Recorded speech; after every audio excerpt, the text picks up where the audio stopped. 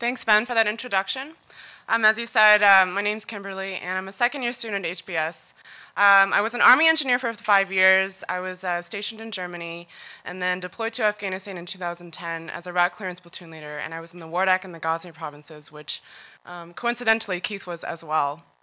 Um, so, anyway, uh, I also worked with the provincial reconstruction teams and with the cultural support team with the female engagement teams while I was there, and one of the things I took away was that we really need to engage with the Afghan population in ways that are beyond the scope of what we traditionally do in the military um, for sustainable future. So Keith and I decided to start this company a couple months ago in February.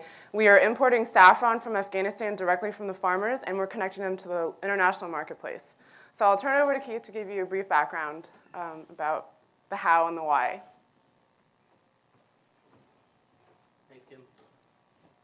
this audio works. Oh, okay, gotcha. Thanks, Kim. Um, can everybody hear me? I'm not sure if the audio is working. Uh, my name's Keith. I'm uh, actually just returned from Afghanistan a couple of months ago. Uh, you know, this idea started with just a I got it right here. okay.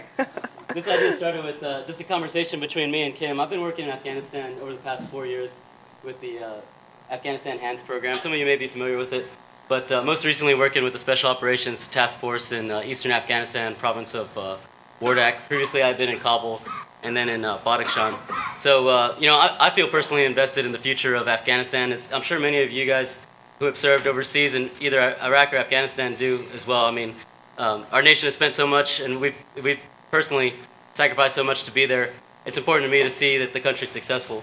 So one of the uh, the gaps that I saw uh, working in Afghanistan is that we, have we've, we've been putting a lot of effort into developing, um, you know, the urban centers, a lot of money in Kabul, Herat, Mazar Sharif, and we've kind of missed the, the uh, rural majority of the population. And uh, we've also kind of missed the, the agricultural uh, sector, which is the largest, uh, you know, sector in Afghanistan. Uh, there's a lot of money spent developing agricultural capacity, which is there, but it's not expanding at the rate that we would expect. And, and, and the reason is because there's no market for Afghan goods um, outside of Afghanistan. So um, I think this clicker will take me to the next slide. So just, you know, some, some big picture stuff. Um, some of you may be familiar with uh, Thomas Barnett. If not, he's got some great YouTube videos um, with some lectures. But uh, he has this idea of uh, the non-integrated gap countries. So these are countries that are not integrated into, uh, you know, the uh, international marketplace. And uh, you know, just briefly, this map shows which ones are the non-integrated gap countries. And if you overlay that map with where we've been involved in conflicts since the end of Cold, the Cold War, it, it, falls right into this uh, map of these countries that are not economically economically connected. So uh, you know, that's kind of where this thinking comes from. And and Afghanistan is. Uh, when you think of it on a small scale, it's, it's a microcosm for this you know, larger problem. When you have the rural populations that's uh, not connected to the rest of the country and not connected internationally, that's the most vulnerable part of the population. That's where the Taliban recruits from, and that's, that's where you're going to see instability in the future. So, you know, we're not here to solve the world's problems. We just want to, you know, start with a simple idea. So one of my favorite proverbs, uh, Katra bakatra darya mesha, means uh, the river is made drop by drop. So we want to just, how do, how do we address this problem from, from a small uh, startup point of view? Well, in Afghanistan, you know, I worked primarily as a government liaison, a government advisor, and uh, worked in, you know, the, the lines of effort of, of government and development. And, you know, what I see, there's a lot of great people doing a lot of great things in development, but a lot of it's donor-driven. And unfortunately, you know, I, I've been working with organizations that just, they disappear when the funds are gone. You know, when the donor nation stops funding, um, you know, that, that effort, you know, as good as it may have been, is uh, not sustainable. So one of the key tenets in, in how we're going to address this is, is it has to be market driven, it has to be profitable uh, for the farmers and for the people who get involved. Uh, I mean, the efficiency of um, for-profit businesses, uh, you know, and, and, how they spend money is, you know, much greater than any government can do, especially a foreign government um, trying to like throw money at the problem. So, uh, you know, there's a stat that you guys may have heard that um, we've spent more in Afghanistan you know, we've spent more money in Afghanistan, inflation adjusted, than we did um, after World War II in, in Western Europe. You know, and, that, and while that sounds bad, you know, like really, it's the efficiency of the money we spent is, is very small. So, uh, so our idea is it has to be market-driven uh, development. The other piece is it has to be, um, you know, connected down to the local level. we don't want to be just foreign purchasers of a product and selling it on the world market. We want to partner with the, the Afghans who are producing these. We want to make sure that they see a benefit from the profit that their products uh, produce. So, uh, you know, I'm going to talk a little bit more about this, but, but our goal is to connect directly with the farmers and view them not just as suppliers, but as partners in our business model. So, why saffron? There's a lot of uh, benefits to starting with saffron. Um, you know, my work in, in Wardak province, I met a farmer, uh, Haji Yosef, very business savvy, you know, very eager guy. He's, you know, like the six-year-old uh, Afghan farmer who rides a motorcycle around Kabul. Um, you know, and, and he was trying to sell his, his saffron, and he was producing a lot of saffron, but not increasing his production because all he was selling was in Afghanistan and, and a few, few buyers in the marketplace. Uh, so, you know, this got me thinking about saffron as a viable product. Uh, some of the advantages of saffron, uh, first of all, just as the product itself, there's a very high price to weight ratio, so we minimize a lot of the problems that would occur if we were trying to ship apples or, or apricots or something like that, where we have to ship in large bulks over land. Uh, we can just fly this stuff out of Afghanistan. Um, and you know, it has the added benefit of being a replacement crop for uh, for opium. So um, well, you know, opium is you know a strategic commodity for the, for the Taliban. You know, the, the farmers, even though opium is profitable, they, they grow it because opium is profitable for them and they can make a living. But there's a lot of risk to that. You know, anytime like the DEA or someone could come and burn their field down, you know, that's not a good business model. Uh, but if we can give them a better opportunity with saffron, you know, that's going to uh, displace some of this opium production that we see. And right now, opium production is higher now than it ever has been in Afghanistan. Um, you know, and, and, the other thing is that Afghanistan, with its, its high elevation and its uh, climate, is actually ideal for growing uh, this particular crop. And it has a lot of advantages. In fact, that the cost of labor is so low. This is a very laborious uh, crop to, to refine and, and produce. So a little bit about our business model. Um, you know, saffron in, in the provinces, we, we, work in two provinces right now, uh, in Herat and Wardak. Saffron is relatively new in Wardak. In Herat, it's been, uh, been around for a while. Um, it's kind of the, the crop du jour uh, there in, in Herat. So we first identify these producers, and we want to make sure we're actually buying from, from farmers and not just, you know, basically a bazaar or people who collect saffron. So we want to, uh, uh, you know, identify those farmers. We want to identify those farmers with the capability to reinvest in their own farms and to expand their own production. So our first process is, is a vetting process with the farmers. We identify our key partners, um, and then this is who we're purchasing the, the saffron from. Uh, you know, we have, we're trying to move as much of the value chain as we can to Afghanistan. Uh, we have people in Kabul um, who receive the saffron from Herat and Wardak. They, uh, they process the saffron and package it for uh, shipment to the U.S. Uh, and when we get it in the U.S., we, uh, we test the saffron. And this is where we can prove to our, to our customers that saffron is indeed higher quality than the saffron that's on the market now. Um, most of the saffron on the market now comes from Spain and, you know, some illicit stuff from Iran, but it doesn't match the quality of uh, the Afghanistan saffron. So uh, we test all the saffron from, you know, we test a portion of the saffron from each farmer um, in the U.S. We'd like to eventually move that testing to Afghanistan. That's kind of our next steps for the supply chain. Um, and then, uh, you know, we're selling it B2B uh, and B2C uh, sales. Um, and, you know, the key part of our business model is that we're reinvesting the profits, 50% uh, of the profits back into the farmers. So um, we give 25% of that as, as just a cash uh, you know, reinvestment. How they can use it how they see fit. And the other 25% we're putting in real capital like um, you know, equipment, machinery, um, drying equipment, um, you know, things, things like that. So, uh, you know, with this model, we hope to increase the yields year by year. And uh, the key to that is creating a market for it internationally. So with that, I will turn it over to Kim. So I'll start to talk about it a little bit on the market side. Keith had mentioned, um, you know, kind of the competitive landscape in the U.S. So I would say actually like 90% of the U.S. market is made up of Iranian saffron that goes through Spain, gets repackaged as Spanish saffron, and then comes to the U.S. market. So that's kind of interesting. Um, so in the last five years, we've had a 13% CAGR um, with rising imports of saffron into the U.S., which is very encouraging. Um, it's a small market, it's $160 million. It's not that great, but it's a very fragmented market, and we think that we would be able to grab some market share. Um, the US consumer doesn't really know very much about saffron.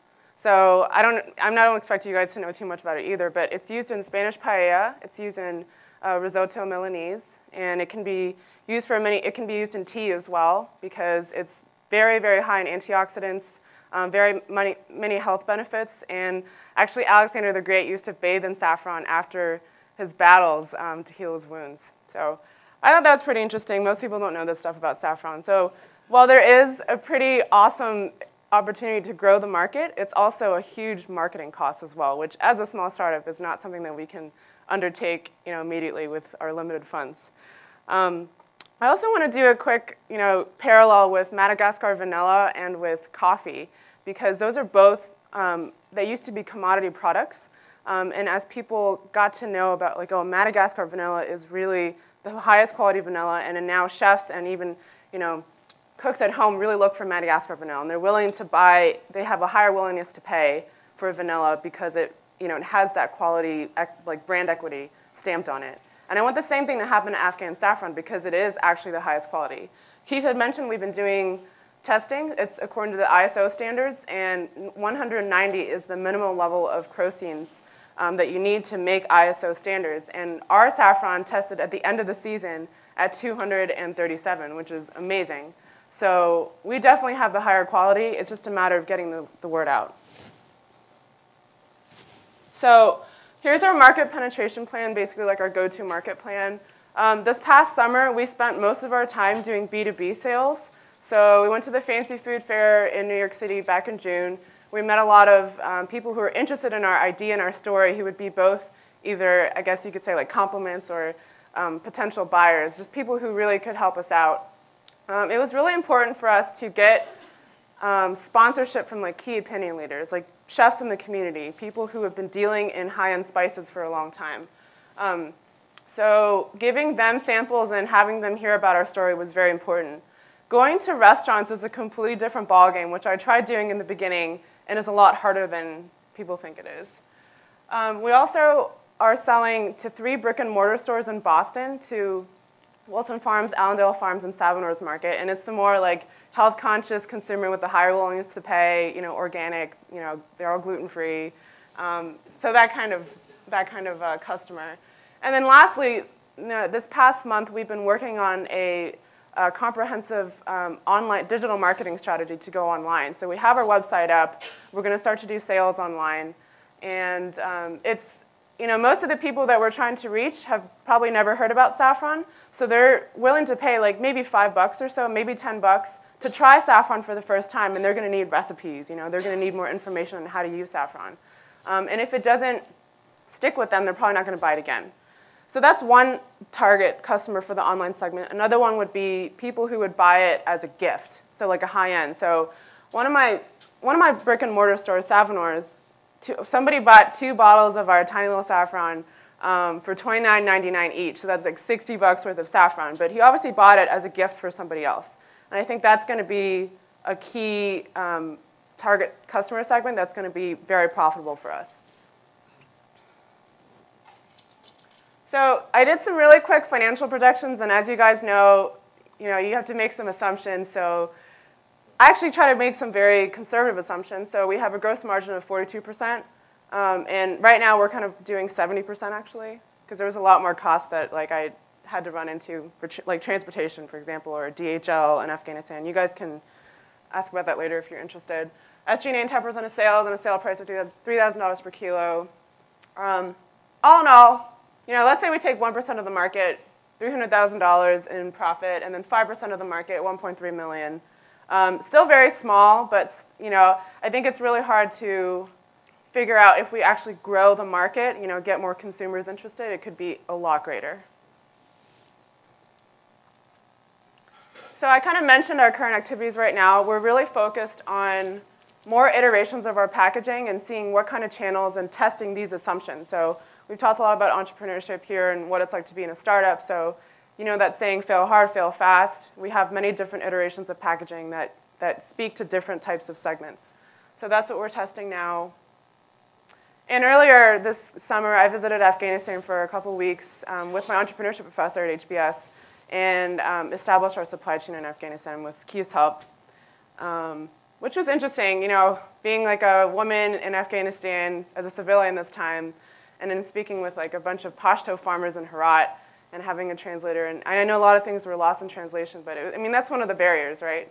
But it's got to happen, and, and I learned a lot from the experience. And one of the things I really learned was we really have to like have our Afghan partners be the most important people in this value chain. Just here are some idea, some uh, examples of some of the marketing stuff we do, some of the information packets and postcards that we give to our prospective buyers. I made that really crappy logo on the top um, and finally decided to pony up the money to do a 99 designs, which is, I highly recommend this. It's like you pay 300 bucks, so $299, and it's like a kind of like a platform where they bring other designers on, and it's a it's based it's like kind of an auction and a um, anyway. Check it out if you guys want to make a logo instead of spending like you know hundreds hundreds of dollars on it. You know you get a really great logo, and it's it's pretty fast. We got it within two weeks. So as, as, we've mentioned before, like having our Afghan partners is the most important thing, and having a lot of the value adds, such as like you know weighing out the saffron packaging in Afghanistan, maybe doing some of the PR and the marketing um, in Afghanistan, and really connecting people to the stories. That's been our most important thing. Shakur is our buyer in Herat. Um, he's actually an agricultural expert and has been working with the farmers for like 10 years. Seema Guryani, um, she's, she's smart. She's a great businesswoman because she knows uh, what the international marketplace is looking for because she's a woman saffron company owner and she employs all women.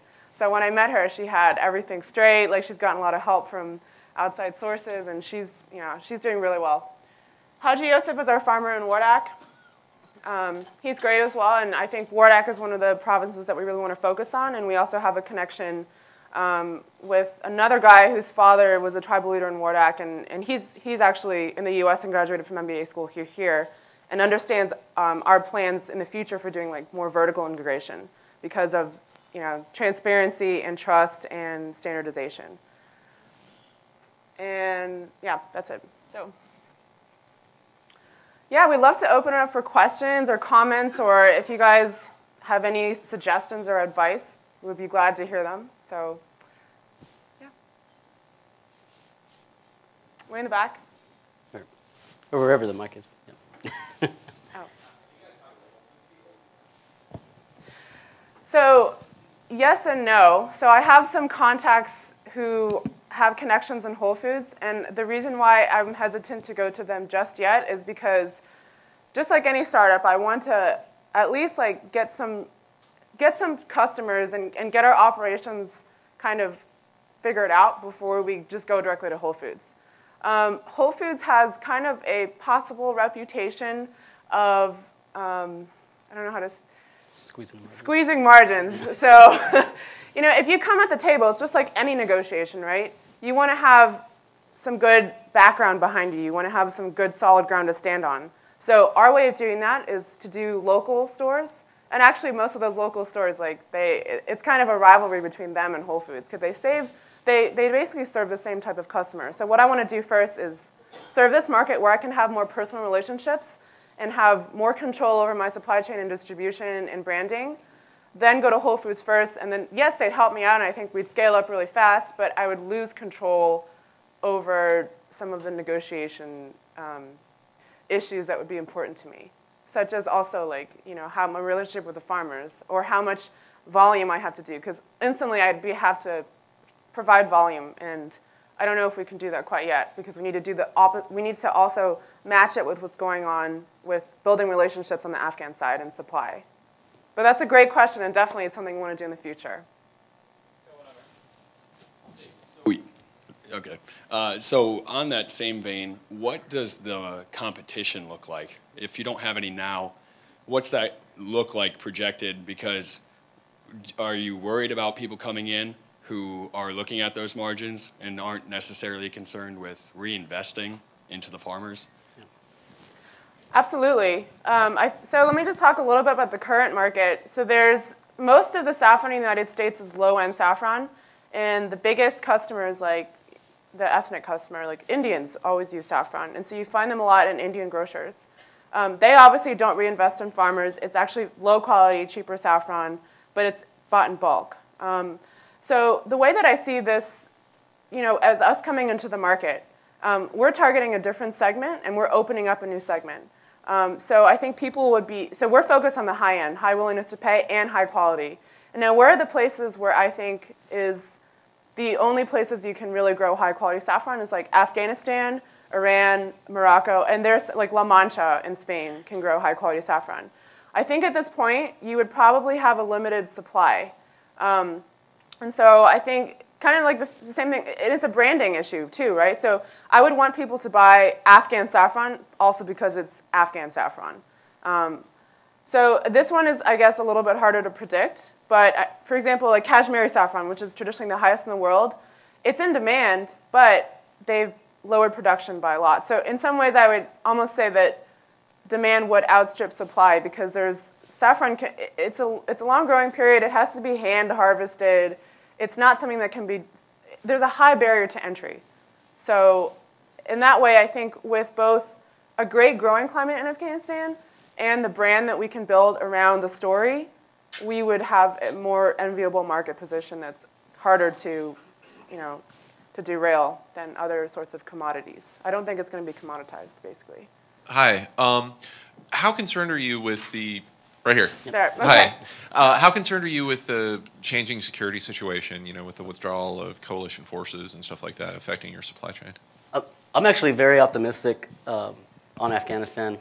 I think I probably wouldn't have, you know, gone back for two tours and done the Afghan hands if I wasn't. But um, with the with the new president, Ashraf Ghani, and the, and the solution that they've come to with the, the election uh, impasse, I mean, that's a very Afghan way to, to like solve a problem that's, uh, you know, I, I, like the phrase Afghan solutions to Afghan problems.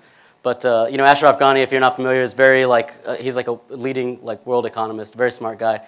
Um, and his priorities are, uh, are, economic development, you know, and, and, economic development brings with it security. And that's, that's part of our, our theme.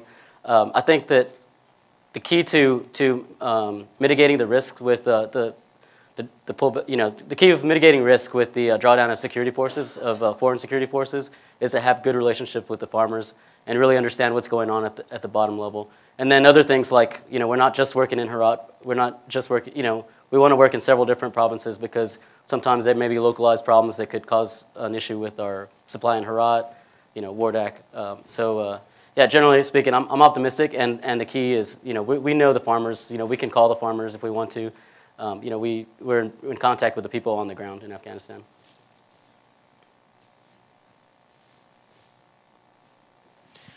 Thanks. I, I love what you're doing, and I have a couple quick comments before I've got a question that I hope is useful. Um, first of all, I'm, I'm really impressed. You're a pair of MBA students who are, you've got a business plan that doesn't involve an iPhone, and I wish I saw more of that. Um, I was an MBA student once. Um, and then secondly, if I, this is the other brilliant part, is that if I could find an agricultural product that I could sell for $8,000 a kilo, I'd have, probably have the DEA follow me around, which, you know, is, it's good that you don't, yeah. you're doing something else with them. Um, but the last, okay, but the last time I bought saffron, and I did just a couple months ago, because I was making paella, and you need saffron. So you go to the grocery store and you look at the, holy heck, you know, the price on it.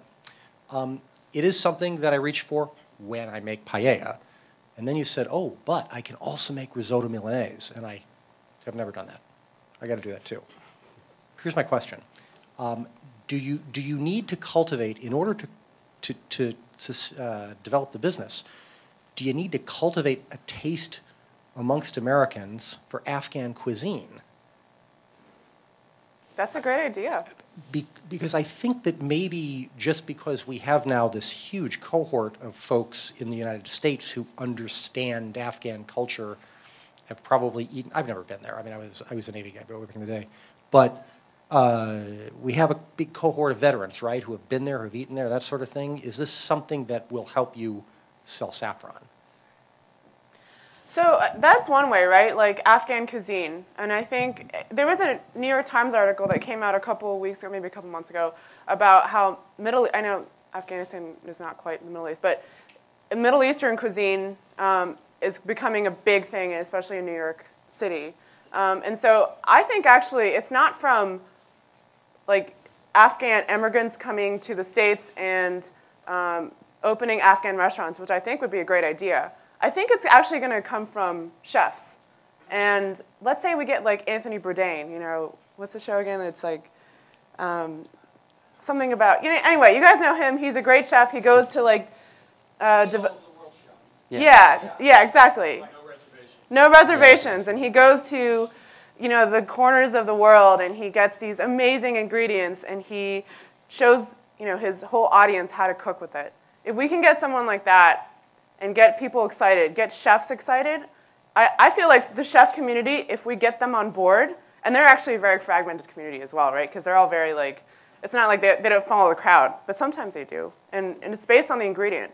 I feel like if you have a great ingredient, and it is a great ingredient, and I've, I've given it to so many chefs, like our specific saffron, they're like, wow, this is really great saffron. Um, and get them to make recipes and to get their followers to be excited about it, that's the way to do it. So I think Afghan restaurants is one way, but I think the key opinion leader here is the chef community.